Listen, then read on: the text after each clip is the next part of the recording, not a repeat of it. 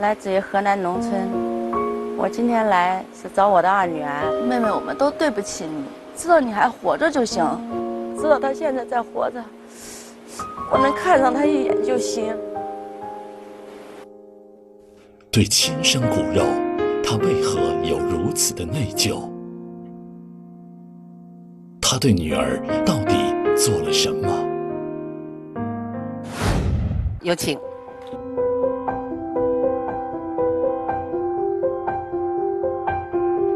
你阿姨好，哎，你扶的这位是谁呀？哦，是你的妈妈。妈妈那么年轻啊，来，妈妈坐。哦。手里拿的什么呀？这个是我二女儿整过的小枕头。二女儿，这是大女儿。这个是大女儿。啊，那就是说今天你们来找枕头的主人，你妹妹。妹妹什么时候丢的？我这个女儿。我有十七年没有见过他，十七年，对，他丢的时候多大？九岁，九岁。当时送走的时候，他得了很严重的病，我不知道他现在是生是死。嗯。说起这个女儿呢，就是在她满月的时候，啊，我们农村家里长辈嘛，又想要个孙子。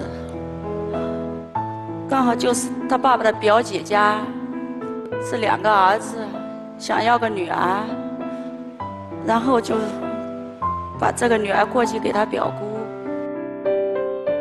在女儿六岁的时候，突然有一天，他表姑父的亲戚来到我们家，跟我和孩子的爸爸说：“你们看看孩子。”他爸爸，我们两个就放下了农活嘛，跟着那个亲戚，第一次去了他表姑家。我们到他表姑家里的时候，已经是晚上。我进了屋的一刹那，看到我的女儿，我当时就脑子一片空白。我我的女儿。就是侧躺在那个床上，床前放了一个盆，盆里面有半盆的沙子，那个血就顺着孩子的鼻子，不停的往那个盆里流，我当时就哭了。从那一刻起，我就下决心把孩子抱回家。到后半夜，孩子的血渐渐止住了，我就跟着孩子的爸爸，我们背着孩子走了四十里的路。到家的时候，我们就找我们那村里医生，我们那很偏僻的。医生看，他说：“你这孩子没什么大病，就是普通的流鼻血，给弄点药吃吃。吃了药以后。”第三天，孩子是好了。那一段时间是我们家，也是我这一辈子最开心的时候。当时我家的大女儿还有一个儿子，都在读小学。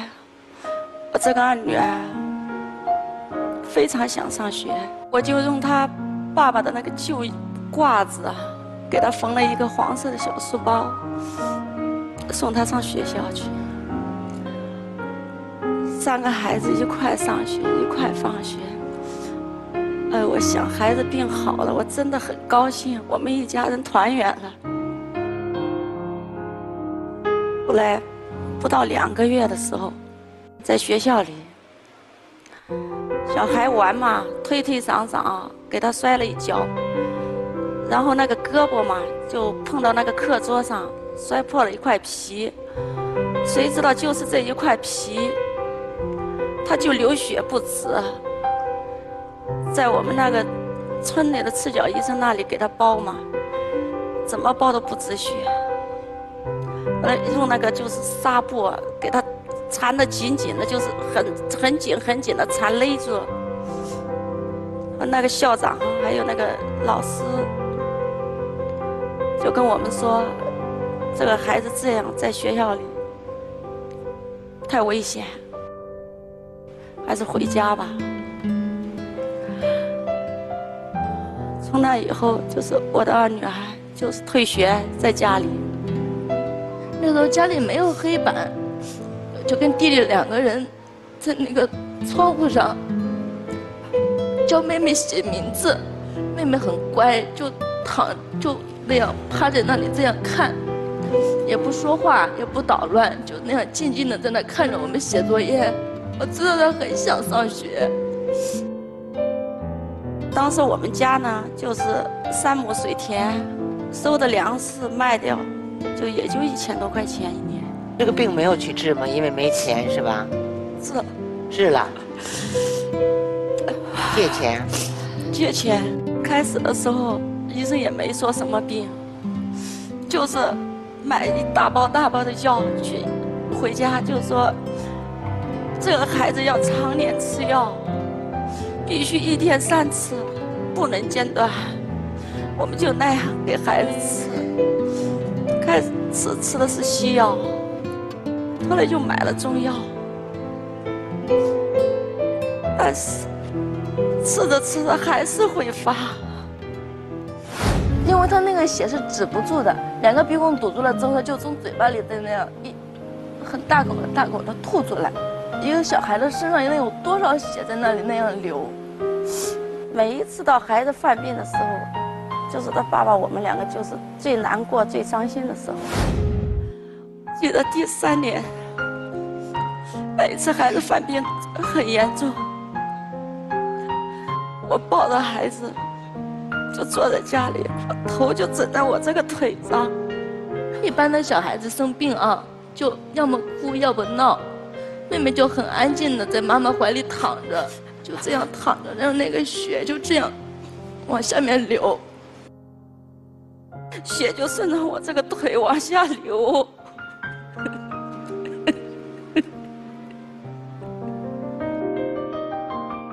那时候我们家说一贫如洗，比一贫如洗还不如。爸爸妈妈为妹妹治病借钱，我跟弟弟那时候就。不要说买新衣服，就是一颗糖，我都没买过。弟弟那时候小不懂事，人家那个甘蔗上面就烧的那一部分嘛，就是不要了，扔在地上，弟弟就捡起来给吃了。然后我回去跟爸爸说，爸爸当时很生气，哭着打，哭着把我弟弟给打了一顿。他说我们现在给姐姐治病是没钱。但是你不能吃人家吃剩的东西，你，你，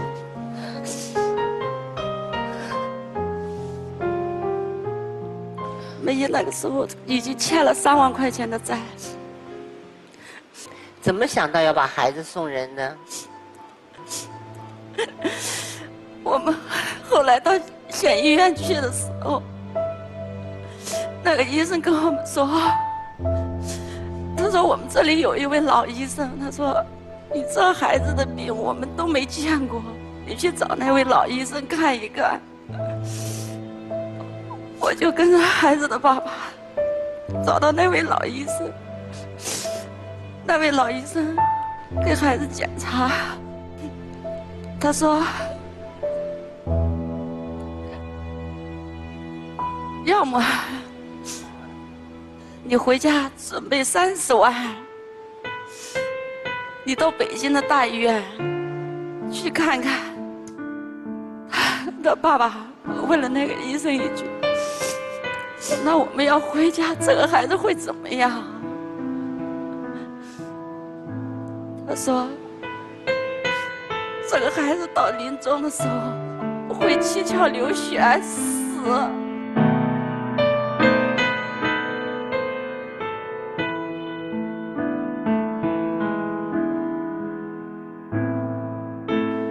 是我们起不来，我们俩抱着孩子就在那走廊里坐了好长时间。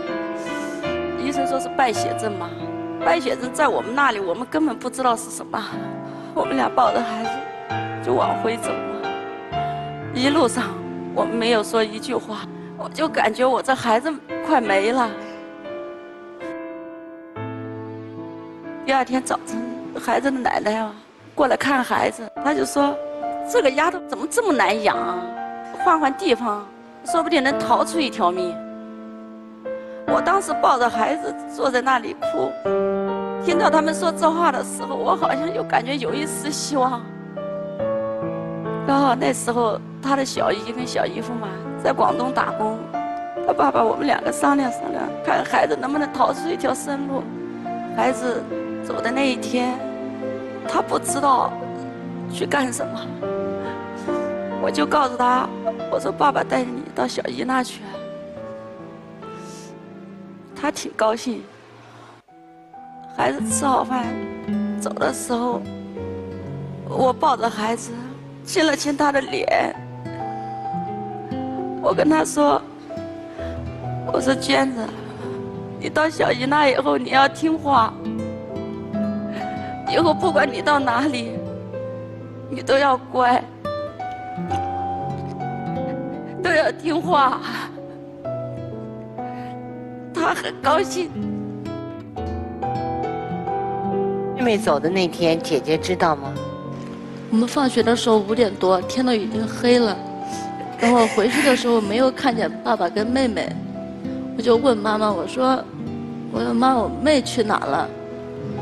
我妈说：“那个表姑家想孩子了。”她说。表姑家想孩子以后，她要把孩子给接回去了。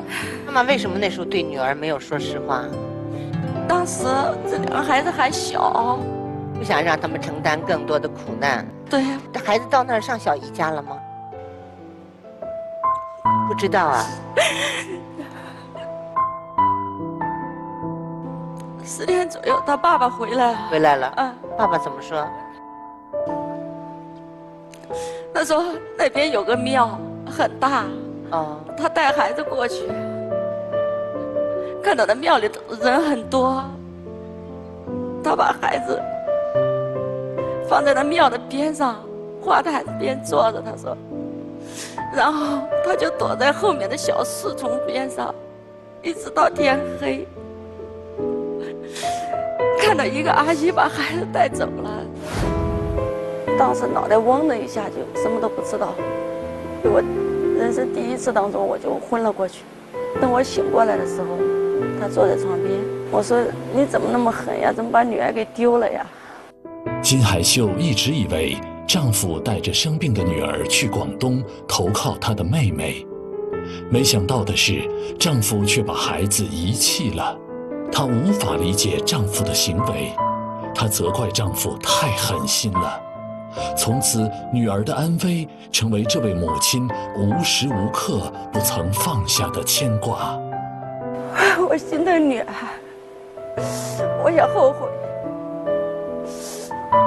万一有什么意外，还不如在家里呢，最起码我能看到她。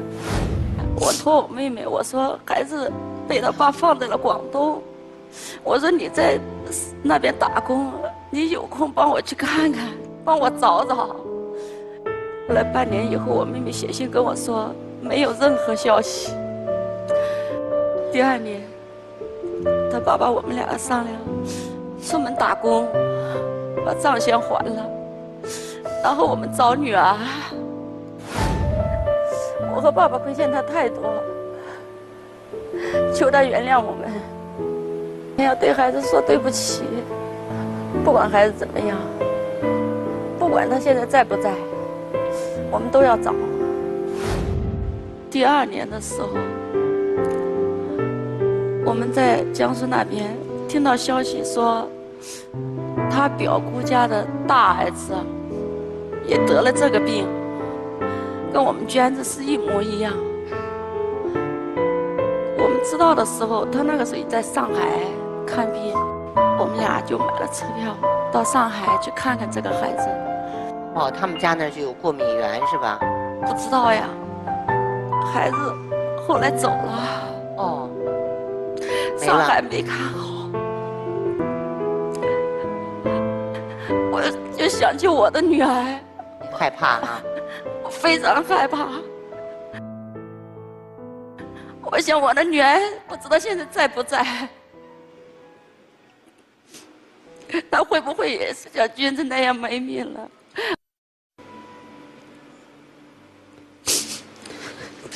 到女儿初中毕业的那那一年，我就跟她说了实话，她的愿望是想学会计，上个技校。我就跟她说，我说我们家没那个条件。我们要找他，这辈子是你爸爸和我做的最大的一件亏心事。其实那时候，妈妈有问过我委不委屈，我说我不委屈，我不上学没关系，我还有爸爸妈妈在在我旁边，妹妹在外面，不知道。能不能穿的穿的暖，能不能吃的好，那个病还不知道会怎么样，有没有就是说人家好心的人给他看病，不知道是死是活。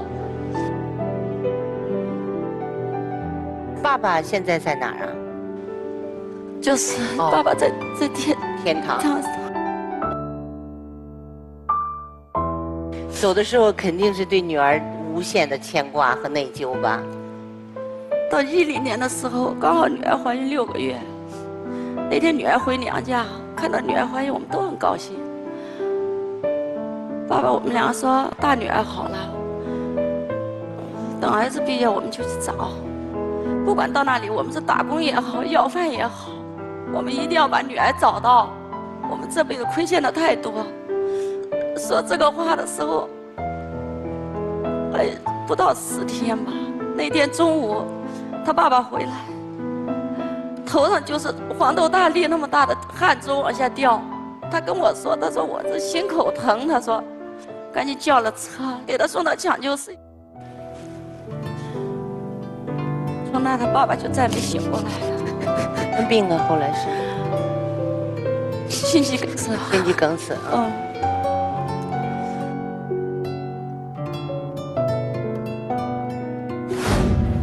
不敢相信孩子他爸就这么没了，女儿还没找回来呢，你怎么能走了呀？我说你把我扔在这半道上，我该怎么办？那几天不知道怎么过来。一个星期的时候，我儿子问我，我说妈，我问你个事。我说什么事啊？我说我爸爸是不是有什么心愿呀？我说你怎么这么说？我爸爸临走的时候眼睛没闭上，那个医生帮他。我说你爸让你找姐姐，你这个姐姐在外面不找回来，你爸爸是他一辈子心里的遗憾。弟弟今天也来了。哦，弟弟，请，请你上来。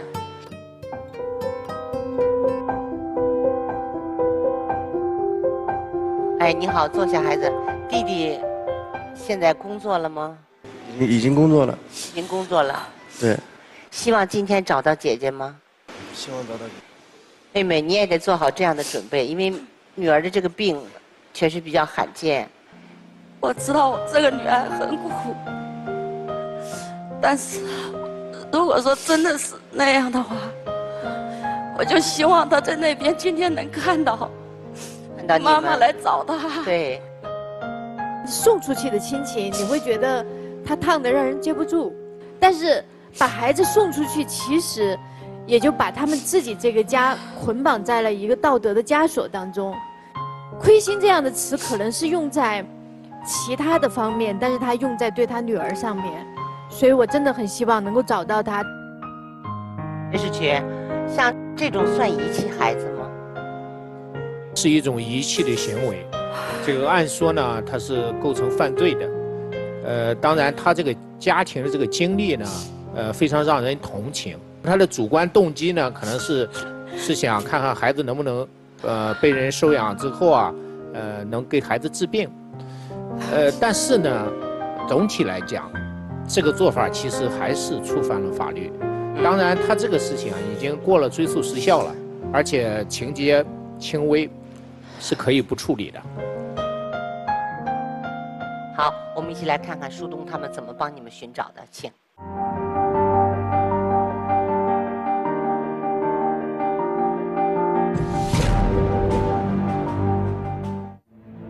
金海秀大姐你好我是等着我寻人团的舒东呃您在我们栏目的融媒体平台上的寻人报名求助呢我们收到了我们也是第一时间帮你展开了寻找。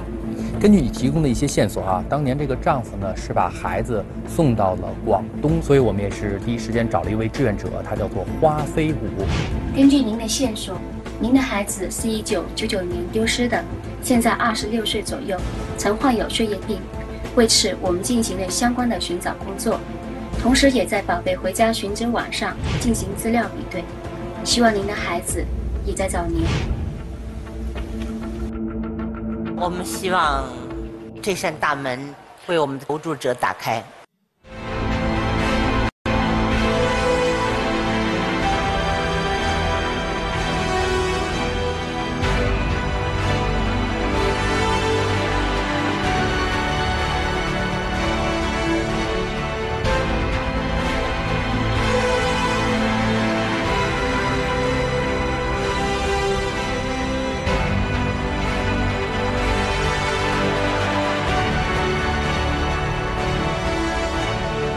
请走向你们的希望之门。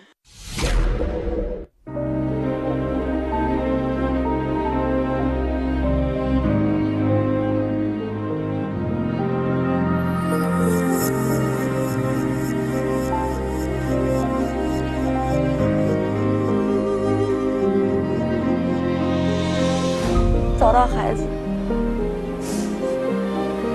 要完成他爸爸的遗愿。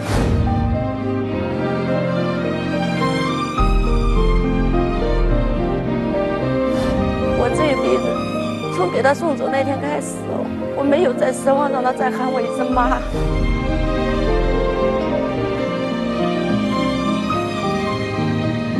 准备好了吧？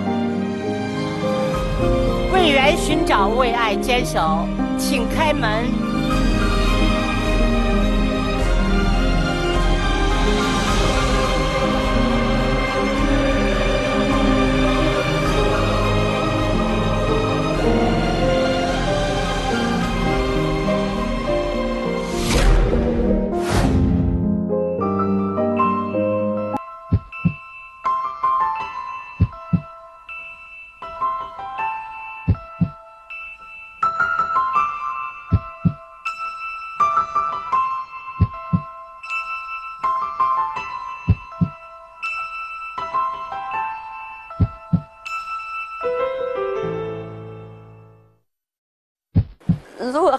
在了，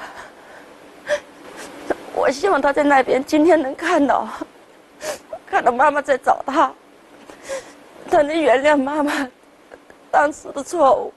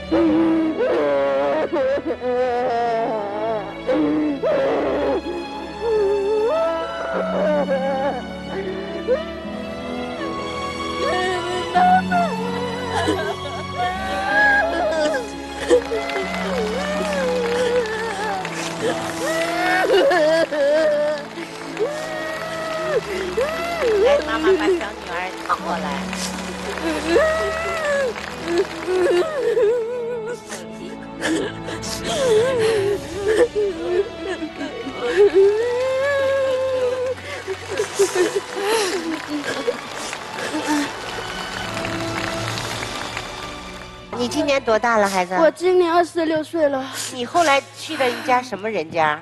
我去，我后来是，嗯，我爸爸把我带到那个寺庙的地方，然后爸爸嘱咐我说坐在花坛这里不可以乱跑，他说去买东西。嗯，我就坐在那里一整天都不见爸爸来接我。嗯，等到那天晚上六点多，清洁工阿姨看到了我，就把我收留了。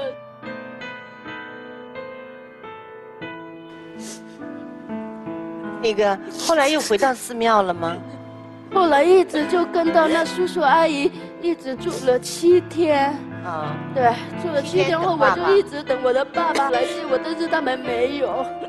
就 后来就是清洁工叔叔阿姨就把我送到了警察局，警察叔叔就把我送到了福利院，一直到现在。妹妹，我问你啊，就你那个病后来再犯了吗？嗯，在呃二零零四年还是有犯。因为我我从来没吃过虾，我就嘴馋。那次过年福利院就加餐，加了一加了虾，我就偷吃了一条虾后，那天晚上就呕血不止，流鼻血，然后全身出现出血点，还有瘀斑。福利院的叔叔阿姨就把我送到医院救治的时候，医生诊断说我是特发性血减少性血小板紫癜，对。那个时候还诊断我胃内出血，在医院救治了一段时间后，医生宣达病危通知书，说这个小孩我们无法救治了，你们还是带回去等他的命运转变吧。但是福利院的叔叔阿姨依然不放弃对我的治疗，就在福利院叔叔阿姨他们精心的照顾下、医治下，我就慢慢的康复了。感谢福利叔叔阿姨给我了我第二次生命，才有了今天的我。谢谢，谢谢你们。不懂你手里拿着是什么？就想跟阿姨说的，因为现在孩子大了，身体健壮了，抵抗力强了，而且知道有很多一些可能过敏的东西他不去碰。这里呢，给你们带来了一张，是2014年他最后一次发病，当然那次不是特别严重啊，治疗之后的出院记录。你们可以看一看，可以说是福利院的叔叔阿姨们帮你们养育了一个健康的女儿。我在这里谢谢。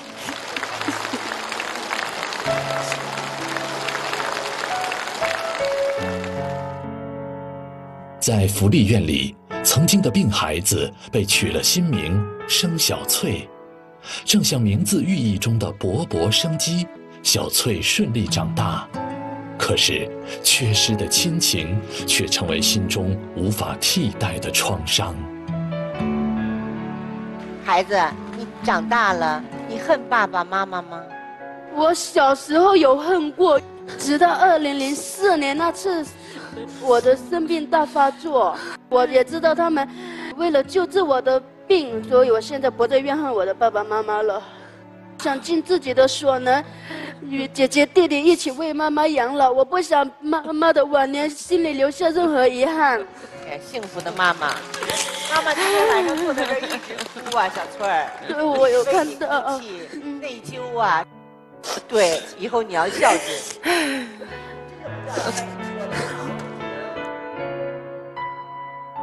现在还在福利院？是，我现在是福利院的一名护士。哦。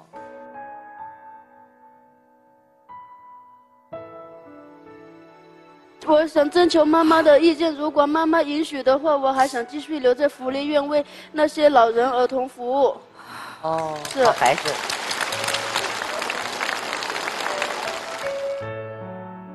擦掉眼泪的时候，我可以非常明确的告诉大家，这不是苦水，这是幸福的泪水。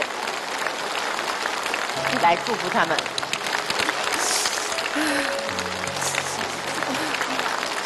谢谢，谢谢念平老师，谢谢各位，谢谢，谢谢，走走向你们的幸福之路。家有病儿，就算有种种无奈，但是遗弃孩子依然要受到社会的谴责，而来自社会的关爱与救助，让这个曾经垂危的孩子焕发了新生。现在，他又把这份爱继续传递下去，让我们相信，真爱的力量是可能创造奇迹的。谢谢。他爸爸在的时候，我们一家没有照过一张合影相，因为孩子在外面不能团圆。今天孩子回来了，我也想聊聊他爸爸的